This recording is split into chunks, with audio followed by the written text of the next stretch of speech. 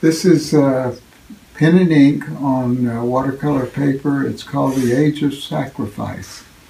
And what it shows is the uh, patchwork patterns of the Seminole people in the background, the snake image uh, top and below, and uh, the legend of why the, uh, the Seminole people um, never kill a rattlesnake.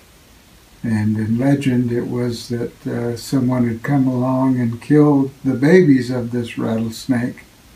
And when Creator found out what had happened, he gave the rattlesnake a rattle and fangs and said that man should never harm the rattlesnake again.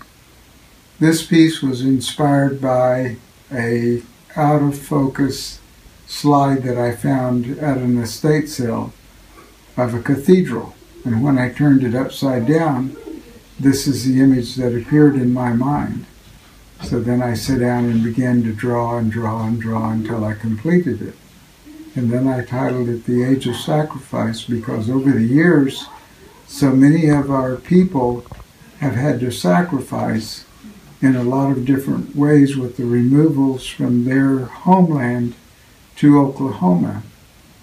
And that through their sacrifice, we are continuing today to do our traditions and to depict some of our legends and ceremonies.